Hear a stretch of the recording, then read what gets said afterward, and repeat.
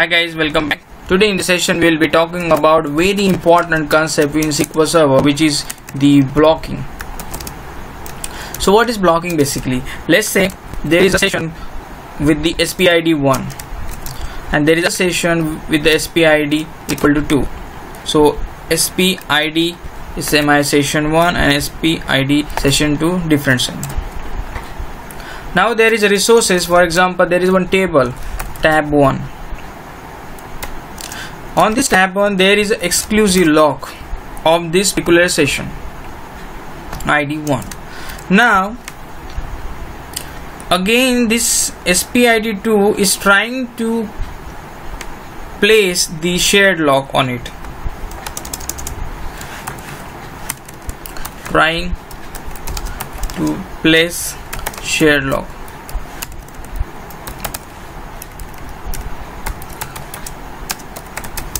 which is locks right? So what happened you know this session which has spid2 need to wait till spid1 gets completed.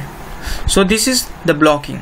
So blocking something like the blocking other session from other one. Where can I see the blocking is there or not? There are a lot of different ways where we can check the blocking is there or not basically. So the first one we can directly run sp who2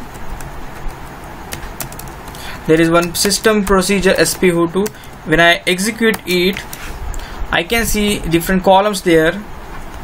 And the very important column here is block by. If this column is having any value it means there is a blocking. And we need to see which session id here i am seeing. And just take that session id and see in the spid column which session it is from which host it is coming and what is the status right now. So here we can check. Now so there is a one more.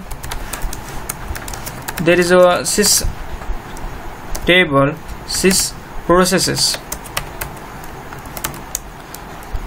Where we need to take the those SPIDs which are greater than 50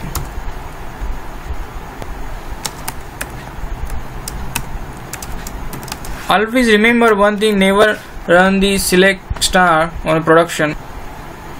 I'm just doing it for the testing because it's not a production environment just the take the session id which are greater than the 50 the session id less than 50 I mean these are the um, these are basically these system internal SPIDs so okay I am seeing this money session ID that's fine. Okay? Now we'll practically see how we can demonstrate the blocking. Before that I just want to say one more concept here. That's a lead block. So let's say now this is session 2 uh, there is a one more session called as a SPID with 3 so this is also trying to mm, place the shared lock on the ta table 1 or the exclusive lock basically. So that session id also need to be waste wait basically yes. So will happen you know there is a chain will happen.